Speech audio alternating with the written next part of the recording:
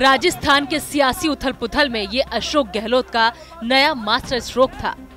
शक्ति प्रदर्शन का ऐसा अंदाज इससे पहले कहीं नज़र नहीं आया था। मुख्यमंत्री के घर जब कांग्रेस विधायकों की बैठक चल रही थी, तभी अशोक गहलोत ने मीडिया को अंदर बुला लिया। ये दिखाने के लिए कि देखिए, हमारे पास बहुमत है। सीएम अशोक गहलोत और उनके समर्थक विधायकों ने विक्ट्री का निशान देकर संकेत दिया कि बहुमत उनके साथ है। अशोक गहलोत ने दिखा रहे हैं विक्ट्री की साइन, यानी लड़ाई जीत ली है। सचिन पायलट, जो इनके निशाने पर था, सचिन पायलट की करीब करीब विदाई अब कांग्रेस से तय मानी जा रही है। या सचिन पायलट को सरेंडर करना होगा, या फिर बाहर जाना होगा, क्योंकि अशोक गहलोत के चेहरे पर मुस्कुराहट देखिए। ये मुस्कुराहट बहुत कुछ कहती है। यहाँ ये शक्ति प्रदर्शन का नायाब नज़ारा था। ऐसा लग रहा था कि विधायकों की मौजूदगी से अशोक गहलोत आश्वस्त हैं और फ्रंट फुट पर बैटिंग करने के लिए तैयार हैं। गुलाबी शहर का सियासी पारा कल से ही लाल था। सुबह से सरगर्मी तेज थी। कांग्रेस ने सुबह साढ़े दस बजे पार्टी विधायक दल की बैठक बुलाई थी। सुबह नौ बजे से ही विधायकों का पहुँचना शुरू हो गया था। पार्टी नेता लंबे चौड़े दावों के साथ मौजूद थे। गहलोत सरकार के मंत्रियों का दावा है कि उनके पास 109 से 115 विधायक हैं। हालाँकि फ़िलहाल असली फिगर 102 का आ रहा है। फिर भी ये आंकड़ा बहुमत से एक ज़्यादा है। राजस्थान की कांग्रेस की सरकार पाँच साल पूरे करेगी। हमारे साथ 115 विधायक रात को थे, सब पार्टियों के मिला के और 10-12 विधायक भी कल रात को इनके जो काफ़ी विधायक थे, वो टूटकर यहाँ आ गए। और ये गलत फहमी निकाल दे, राजस्थान में बीजेपी भी गलत फहमी निकाल दे, राजस्थान की जनता, ये महाराणा प्रताप और पन्ना धाई की धरती है।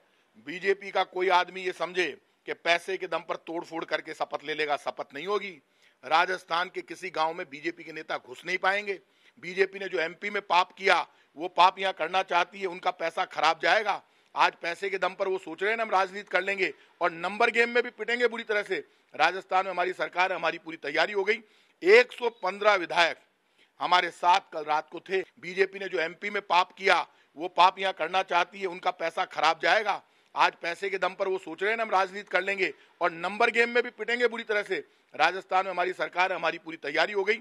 115 विधायक हमारे साथ कल रात को थे। राजस्थान में गहलोत सरकार को संकट से उबारने के लिए कल रात ही दिल्ली से तीन संकट मोचक जयपुर पहुँच गए थे। सीनियर नेता अजय माकन, मुख्य प्रवक्ता रणदीप सुरजेवाला और राजस्थान कांग्रेस के प्रभारी महासचिव अविनाश पांडे। आधी रात तक तीनों नेता अशोक गहलोत के साथ मंथन करते रहे। कांग्रेस पहली बार इतनी सक्रिय नज़र आ रही थी। रात के करीब दो बजे इन तीनों नेताओं ने प्रेस कॉन्फ्रेंस कर 109 विधायकों की चिट्ठी होने का दावा किया। 109 विधायकों ने सहमति पत्र पर साइन कर अपना समर्थन और अपना पूर्ण विश्वास माननीय अशोक गहलोत जी के के नेतृत्व में कांग्रेस सरकार पर और माननीय सोनिया गांधी जी और राहुल गांधी जी के नेतृत्व पर अपना विश्वास ज़ाहिर किया है।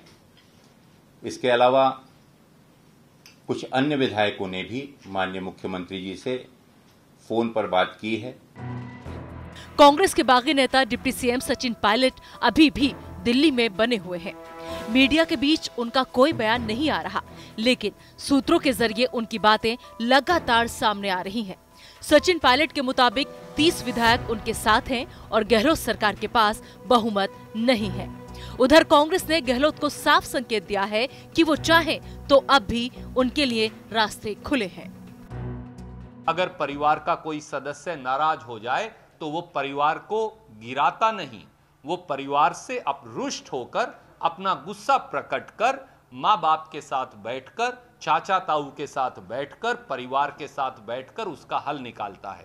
कांग्रेस पार्टी के दरवाजे खुले मन से मैं कह रहा हूँ अजय माखन जी की ओर से और प्रभारी महासचिव पांडे जी की ओर से और सोनिया जी और राहुल जी की ओर से कि वो सचिन जी हों या दूसरे विधायक हों, उनके लिए कांग्रेस के दरवाजे खुले हैं पार्टी फोरम पर अपनी बात रखें, हम उनकी बात, हर बात का हल निकालने के लिए खुले मन से तैयार बहरहाल, जो खबरें आ रही है, उससे साफ़ है कि नंबर अशोक गहलोत के साथ है।